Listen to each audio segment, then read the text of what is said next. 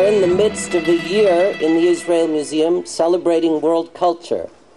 From a season of Russian exhibitions in the spring to Turkey this summer, and this evening we open the third in our series of exhibitions in our Japanese season, demonstrating the synthesis of traditional and modern motifs, merging influences of the East and of the West. It's also appropriate that we're sitting this evening in this particular venue, our Billy Rose Garden, designed by Isamu Noguchi in 1965, 40 years ago, as an oriental setting for the display of the history of modern Western sculpture in the particular landscape of Jerusalem, which sits so importantly between the East and the West. It also happens to be one of the most beautiful settings in all of Israel.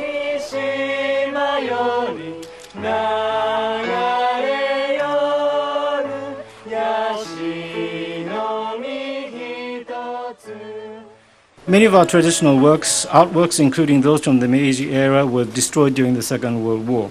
Therefore, those that were obtained and well kept by overseas collectors, such as Dr. Khalili's, are very precious. I would therefore like to offer my heartfelt congr- congratulations for the opening of the exhibition today. In the United Kingdom, David Khalili is well known for two principal things, and they are linked. One is his work of interfaith between the Jewish religion, Islam, and Christianity, and the other is for his art collection. Uh, his art collection is nothing short of phenomenal. It is magnificent, it is inspiring, and it is Israel's to enjoy. Thank you very much. David is no doubt a world cultural figure, but he is also a great friend of the State of Israel, of the city of Jerusalem, and of the Israel Museum. David is known for putting together one of the finest and diverse art collections in the world. We are very fortunate that he gave his consent to place in our museum this spectacular and most aesthetic collection of Japanese imperial art despite the difficult times in Israel.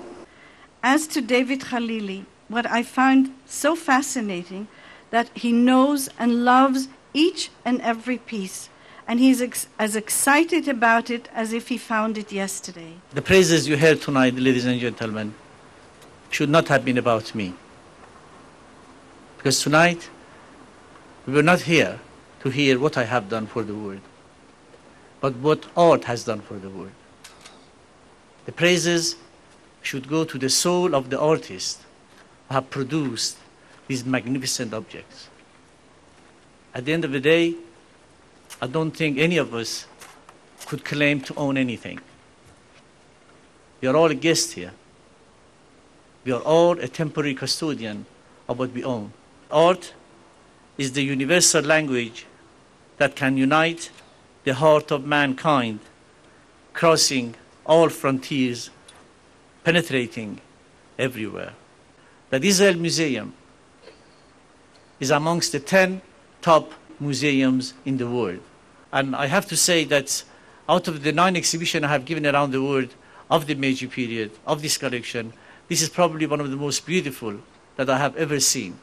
So when we go upstairs and you look at these pieces, remember that these artists put their soul, their life, their emotion to say to the world that there are other ways to get together. There are other ways to communicate, and art is one of them.